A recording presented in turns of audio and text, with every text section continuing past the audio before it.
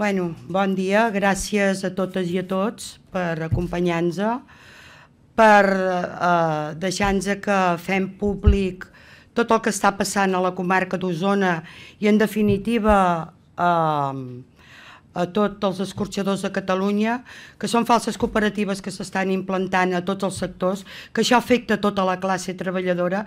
Cada de moment tenim 28 companyes i companys que estan al carrer perquè el senyor Jorge Samper no vol complir la llei catalana que es va aprovar aquí al Parlament al març de l'any passat i que no només afecta aquests treballadors, eh, pot afectar a qualsevol de nosaltres, eh, tota la classe eh, treballadora de l'estat espanyol i que són falses cooperatives que hem d'intentar que entre totes i tots eh, la compleixin. Llavors, us passo la paraula als meus companys, que són dos treballadors de l'EPORC, que eh, per no voler eh, signar una cooperativa que per no complir la llei catalana han posat a l'EPOR que es diu Agua, que els han amenaçat, els han coaccionat i que ara els han fotut al carrer, que tenen una situació deplorable, que han tirat al carrer 28 famílies, que a partir de l'1 de març poden ser 528, que es queden sense feina, que es queden sense un plat a taula, que es, queden, es poden quedar sense vivenda i és un ja fins i tot una emergència social el que està passant, que no només afecta, com bé us he dit, aquí a Catalunya afecta a tot l'estat espanyol. Cooperatives falses que qualsevol dia, qualsevol de nosaltres ens hi podem trobar i des de Carnis en Lluita i des del sindicat COS demanem tota la solidaritat per part de tothom. I bueno, us passo als meus companys que us expliquin el, uh, tal com ho estan visquent, com estan, el que ha passat i si els puc ajudar jo amb ells, evidentment els ajudaré. Gràcies. Hola, buen día a todos. Me llamo Singh Kushwant, yo soy de la India. Yo soy un trabajador del Grupo Jorges, Centro Santa Eugenia Vic. Yo llevo casi 17 años con este grupo. Pero como año pasado hay saldrá una ley catalana para cumplir nosotros año pasado hasta ahora luchando la ley. Pues como Grupo Jorge no quiere cumplir la ley, pues han traído una cooperativa, se llama AUGA, este es un de las Galicias, lo que no quiere cumplir la ley. Hay, hay gente nuevos, lo que tiene muchos miedos, porque ellos han apretado, presionado, porque tiene que firmar obligado para pasar a otras cooperativas. Pues gente que tiene mucho miedo, ellos no han firmado y cambiado otras cooperativas. Pero para nosotros no preguntar nada hasta últimos días. Día 30 de, 31 de enero no preguntado nada. Pues día 1 de febrero nosotros a las 4 y media madrugadas, como siempre, pasa a trabajar, pero dicen que no puede entrar vosotros porque no firmado con otras cooperativas. Si firmamos con otras cooperativas, tenemos que perder las antiguadas. ¿Vale? Pues ahora nosotros, 28 familias, estamos en las calles. ¿Qué tenemos que hacer? Por eso, por favor, hay que ayudar de nosotros, hay que hablar con un grupo Jorge o parlamentos, aquí lo que puede hacer para nosotros. Estamos en las calles, 28 familias. Yo llevo 17 años, mismos sitios. ¿Cómo puede echar a mí sin avisar?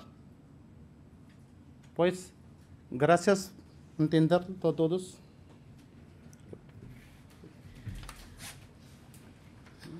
Buen día.